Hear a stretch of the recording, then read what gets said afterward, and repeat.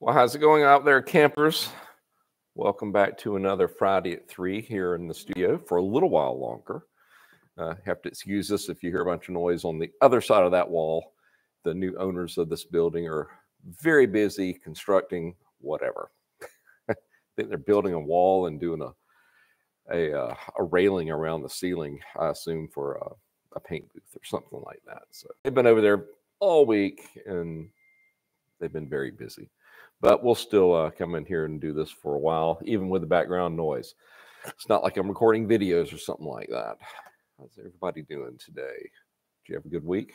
I hope so. Let's flip over and look at what I missed last week. Yeah, if y'all can hear all that, but uh, we'll suffer our way through all this. Uh, before I get started on this, um, just want to remind you that we're still doing another giveaway. If you go to partzilla.com and look at just the opening page, it'll say enter to win. I believe that we're giving away an ATV. I don't want to call it a seat, it's more of a throne. And if you use John 9, 1, 2, 3, you get 100 bonus entries. Did I remember that correct, Hank? Hopefully, y'all can't hear all that. or you can hear me over it. Oh boy. I'll be glad when we're out of this building. Well, there is no we, there's just me. I'm it, other than them. All right. Lou, Lloyd Wall had asked me last week, Hey, man, how's it going? My question is I have a 2000 Suzuki TL 1000S, and the clutch release has lost the ball bearings, and the new one is pricey. How can I fix, or what models does that interchange with? And, and I told him, you just go to the year, make, and model, and um, it'll show you what uh, other units that this will uh, work in. But that's really not going to change change the price. Now that I think about it, Lloyd, the the price is the price. But I look at the makeup. Basically, you've got that roller bearing up front. Um, this is part of the push when you activate the clutch. What goes in uh, goes into the uh, the springs and pushes against them. And then all the other bearing is just the needle bearing, and that's part of your clutch housing, uh, the clutch basket itself, which also has that uh, that main ring gear. Now you don't have to buy that whole thing; that bearing is available separately. And uh, you said it was pricey, and I looked at it, and price didn't scare me.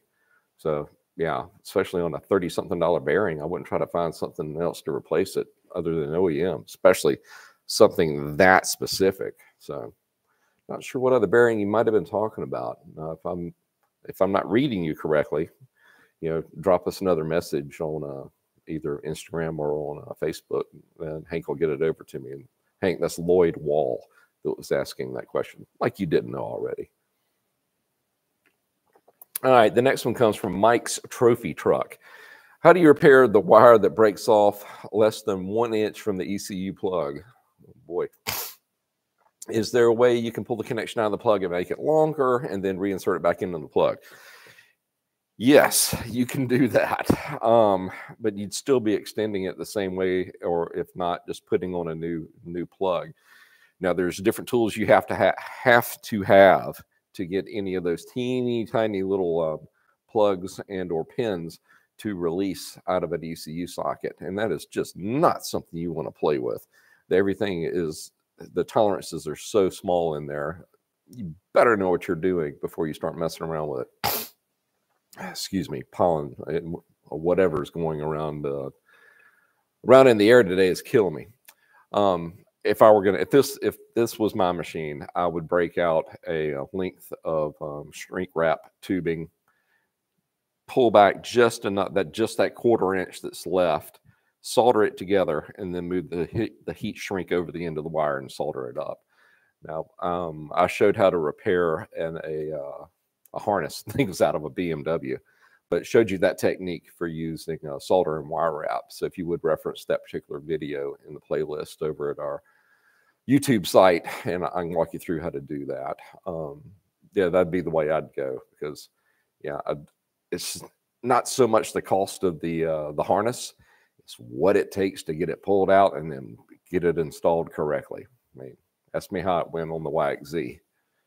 Took me forever because uh, we did a frame on that one. All right, Sammy Denali, loved your KLX 110 videos. I was able to do a complete carburetor rebuild and it's running great. I haven't had the same luck for my Suzuki DRZ 125. My problem is bikes only run, bike only runs on choke. All right, guys, everybody knows where this is going to go. I've looked at so many videos. Most videos lead me down the path of the idle jet. Hey, I cleaned everything on the inside, no luck, so I decided to do a rebuild kit with new jets. Unfortunately, my issue still exists. What am I missing? Well, Sam, you're not actually missing anything. You can replace the jets, but on the other side of that jet, on that carburetor, it has to go through the carburetor body. And if things are gunked up further inside where you can't get anything in there, even by using the uh, cleaning solution and or an ultrasonic machine, sometimes it is just not going to break free. Uh, my suggestion would be to soak it in carb cleaner full strength, wash it out, and then try to blow it out using compressed air. If I still doesn't get it, well, you're really not going to have much of a choice except to replace the entire carburetor itself. But on a 125, it shouldn't be that expensive. I've told the story a couple of times before. When I was at the dealership level, we'd have a, uh, what was it in particular? A Recon um, 250 Honda. When they would come in for a carb clean, we would take the old carburetor off, throw it in the trash can, and then put on a new one because that was cheaper than spending two mechanic hours to clean the existing one and then put it back on. that kind of defies logic, but hey, it was the truth. All right. Uh, payroll reminder. I'm good to go. Troy All All Aldridge. We'll go with that. He's got a 99 TRX 450S when trying to adjust the fuel screw. I assume he's talking about the fuel air air fuel screw. I can close the screw completely, and the bike does not even drop uh, RPMs. It seems. What would cause the RPM RPMs not to change at all? Well, you've got your your air fuel screw on the side, but down at the bottom of the carburetor, if I've got the right unit, you'll have this large black knob, and that is actually the the throttle stop for your particular unit, and that would that adjusts your RPM.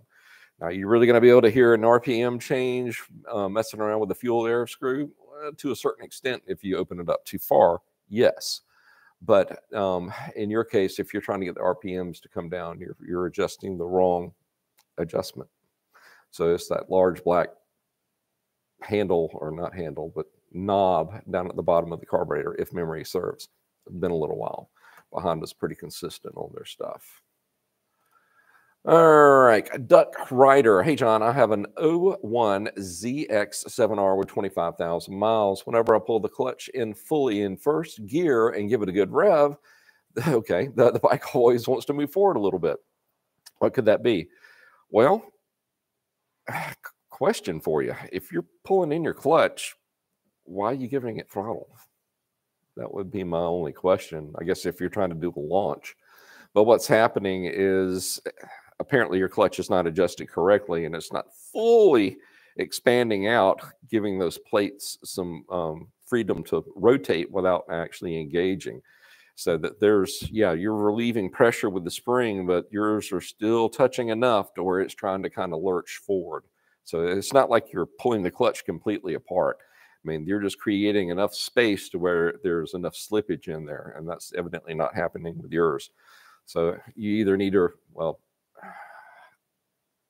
I can't remember off the top of my head if an 01 ZX7R is a clutch or a hydraulic clutch line or a uh, uh, just a regular clutch cable. So make sure it's adjusted correctly. And the only other thing I can think of that could be doing this, and we had another discussion with this a couple of weeks ago, is if you had, or with that many miles, you've replaced your clutch probably once or twice by now. Make sure you go back with OEM. They've, there's aftermarket clutch kits out there, and some of them are good, and some of them are not so good. And you'll run into problems like this with them when they they heat up, they start to swell, and that changes the adjustment of the clutch, so on and so forth. OEM nine times out of ten is the better way to go, unless you're going with a race setup and you're looking for more grab. All right. Um, we got two more left. Jasmine Zero had asked me, my 2018 Grom, know a lot about that one, comes out of gear after shifting. Why? Oh, sounds like your transmission's getting a little tired. When you shift, you're actually moving a gear and the teeth are interlocking with the gear next to it. And if those teeth are worn, that lock will cause it to pop loose. So especially when they start getting worn down. So chances are your teeth, so to speak, are starting to get worn where the uh, the gears are interlocking and it's releasing. That would be my initial guess on that. What can you do that uh, other short of uh, opening up the transmission and going through it? maybe think about going with a little bit different oil. You maybe maybe you're going with a fully synthetic. Maybe you should back off to a semi-synthetic, if not just a regular, um, just a generic type uh, oil instead. Maybe not make it quite so slippery in there to make it easier for it to hold on. Hey, it's worth a shot. Or it's certainly worth an oil change before you go through the pain of uh, splitting the cases on it. Dan Martin. I have a 400EX. Everybody owns one of these things. Seems like it. And I was wondering if it would be necessary to change the jets out for the winter because it's harder to start in the summer. Hmm. Depending on how much of a temperature change is uh, going from summer to winter, I would say go ahead and do that because when it's winter, you're leave, you're use your ingesting denser air. And what does that mean? That means you're not your amount of fuel is staying the same. So in essence, you're starting to lean your engine out. So it would not hurt at all, depending on how your knife edge yours is jetted to uh, move up a size or two on your jet diameter to, to allow some more fuel in there during the winter. Just my two cents. All right. That catches me up from last week. Let's see what we've got for today. Mm, yes, they've uh, Partzilla friends down in Florida. Um, we were giving away that uh, Kimpex Nomad trunk, ATV throne. Use code John9123 for 100 bonus entries. Like you can't read, but hey, just reading it out loud for those that are actually just listening and not and not watching to the chat, watching the chat. Arialo Mike, hello. How's it going, Mike? Hello to you too. Andy in Cali Moto, 2015 Yamaha FJ09. Always like that bike. I have been experiencing some throttle lag when taking off in first gear. Okay. I've synced my throttle bodies, good, and adjusted and lubricated my throttle cables. Is this a TPS issue? Possibly a TV, TPS issue. Um, I thought the uh, FJ09 was a uh, throttle by wire, or maybe I'm thinking of the uh, R6 and the R1. But yes, if it's a little bit sluggish um, off the line, it might know exact might not know exactly where the uh, the throttle plates are, and that's giving it kind of false information potentially. Um, if you've never done the um, calibration before, I can't remember the uh, ohm load that you're looking for when it's at its zero point, so to speak. I'm sure that's online. But if Andy, if you need me to, I can look up the uh, the exact specs and I can um, forward them out to you um, if you need access to a service manual. I don't want, I can't do it for everybody, but you know, sometimes uh, I'll I can make enough time to uh, send it out to a few folks. So Andy, if you will uh, reach out to um, Hank over at uh, either our Facebook or Instagram pages on the instant messenger. I'll see if I can hook up with you and uh, get that printed out for you. Sound like a deal? But yeah, sounds like this. Uh, you're correct on the uh, throttle position sensor. Uh, maybe a little bit out of whack. Marty Turner, I'm rebuilding my Polaris Sportsman 1000 XP and have reviewed your series more than a couple of times. It's been a ton of help. Well, you're welcome, not a problem. Just wanted to say thanks uh, for the in-depth videos. Well, we appreciate that, Marty. Um, we have a, a, weekly meeting with multimedia, and it's just kind of funny. Out of all the videos that we do, the, the ones that get the most views are either the really simple ones or the really, really involved engine builds. And we all uh, we're flattered by the fact that um, some people will sit there, a lot of people will sit there and watch an entire engine build. The one in particular is our, um, good gosh, our uh, Raptor 700R, where we put all the different segments together into one video. It's an hour and 42 minutes long. And the watch time on that is unbelievable as far as one person sitting there. They'll let it play all the way through. So, but yes, I'm glad that the you have applied the uh, the knowledge we're trying to convey, and uh, you're you're going to have a positive outcome. If you run into any issues, drop us a line. We are here to help. Christopher Miller, hello, John. Remember that 2015 RZR 900 EPS that I did a top end rebuild on? Yeah, we got it, and now it won't uh, it won't start. Check the flywheel, Woodruff key, and CPS sensor, new ECU wire. Wow, we yeah, Chris, we talked about this. That 636-2 code is the code for your crankshaft position sensor. And you replaced it and you checked the wiring and it still won't start and your flywheel and the Woodruff key. Oh, man, I'm floored on this one. You just about none at all.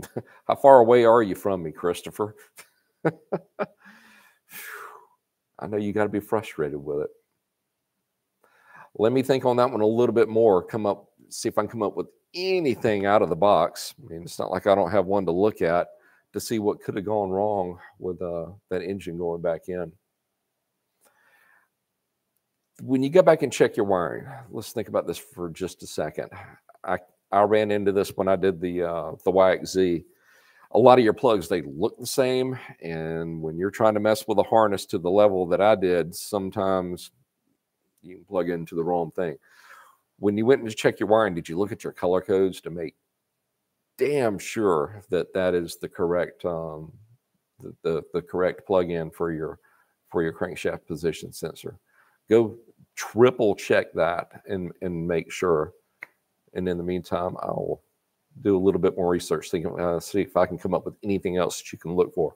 But it sounds like you've you've really dug, dug deep into this one to get it done correctly. Mm. Well, let us know what you find, Chris. We'll see if we can get you through this. C loss. Hi, without a big bore kit, how could you get a uh, 2023 Honda Grom faster. I'm 170 pounds. Oh, you lightweight. I just want to keep up with traffic, not trying to race. Thanks for any help. Uh, I'm new with bikes.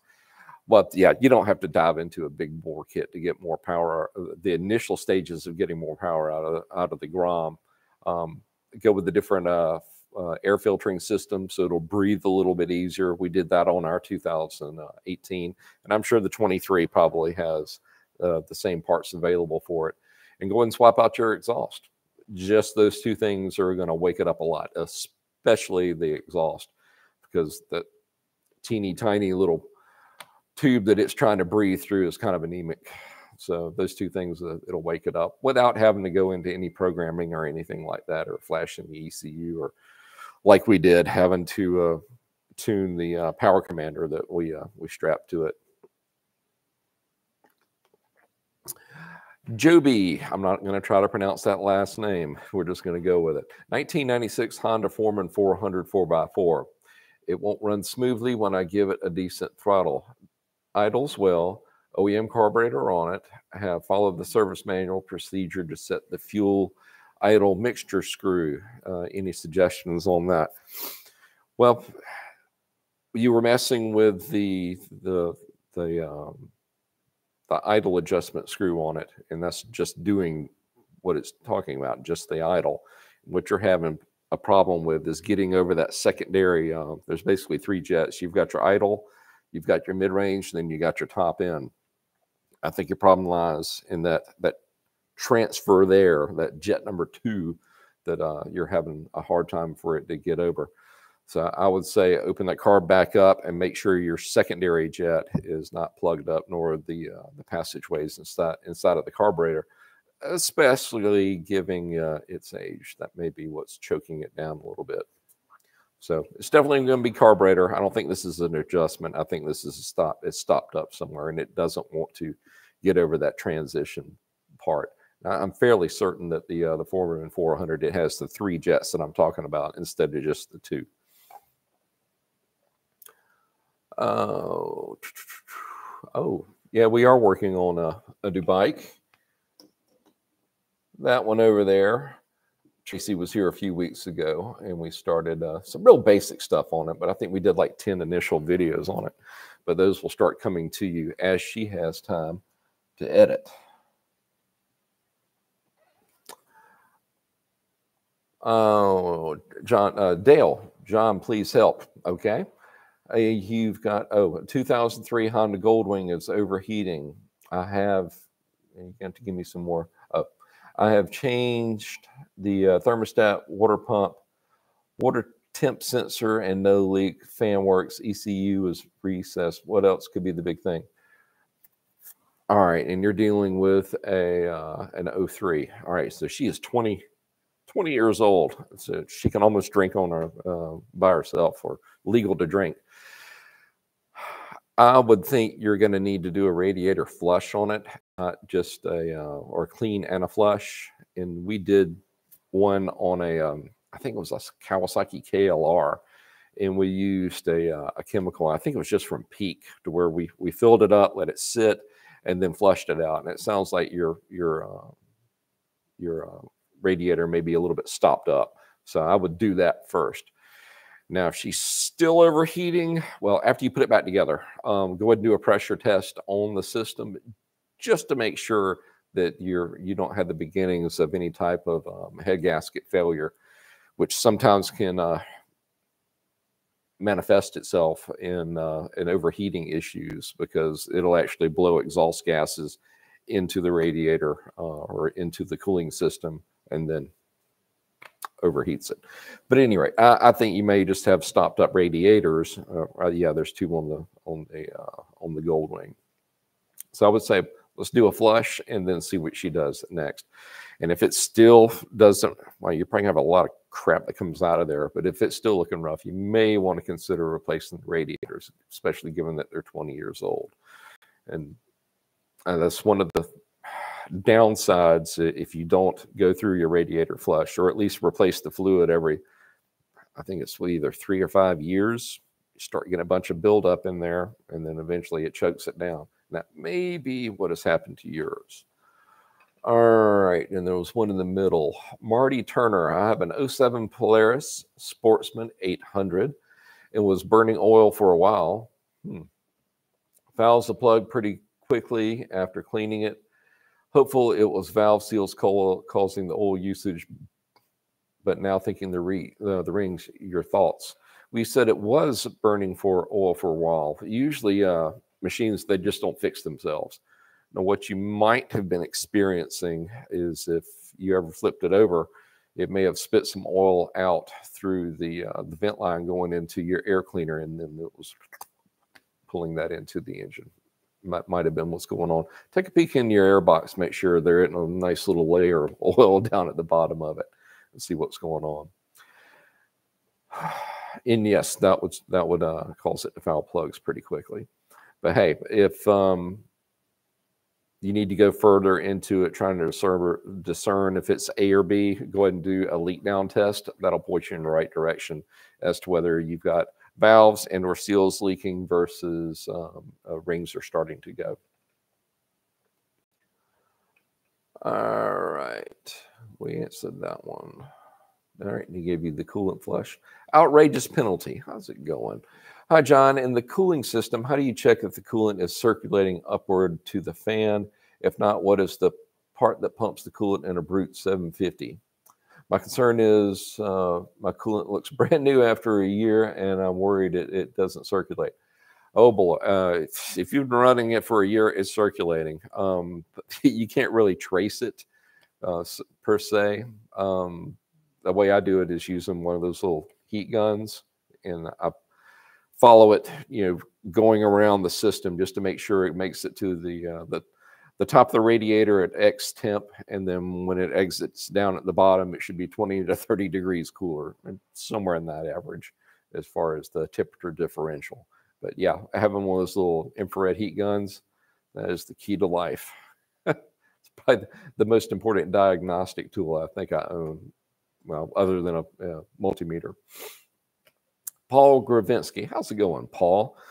Uh, we arrived a little late to the ball again. Better late than never. I always say. Lots of good questions. Again, what about a thermostat on the Goldwing? Is it opening? Well, good, good mention, Paul. I think he replaced that, and but hey, I've replaced. It very seldom happens. You put in a, a part that is faulty. This may be one of those cases. So you know, give it a shot. Make sure that uh, using that temp gun I'm talking about, trace out what's going on in in your uh, in your system. Like I said, if you don't see a big temperature change in between here and here on your radiator, well, chances are it's not circulating or it's not drawing out the heat as it should be. Boy, they are giving it a fit out there. Can't wait to go back and uh, re-listen to this or re-watch this since it's just how loud it was. Hopefully, y'all y'all haven't been bothered by it. Well, all right, guys. 325. I caught up with you again. All right, kids. I think I'm going to call it a week. Head to the barn, so to speak. Doing work at the house tomorrow. I think I'm going to swap out the sink in the in the kitchen. Doesn't that sound exciting? Soon to be wife wants a uh, a stainless one in there. Undermount should be fun piece of cake. Well, all right, guys, uh, head over to partzilla.com, go to that uh, initial landing page, enter to win that Kimpex ATV throne. Why not? Even if you don't own an ATV, just plop it on a in the ottoman in your house. All right, guys. Thanks for coming in and spending a little time with us, especially shopping with us at partzilla.com. It makes all of this possible especially the new building that they're uh, or that new space that they're starting to build out for me next week. Can't wait to show you all that. It's gonna it is so cool. Well, once again, everybody have a great weekend, a great week, and God willing, we will see you next Friday at three. Y'all take care.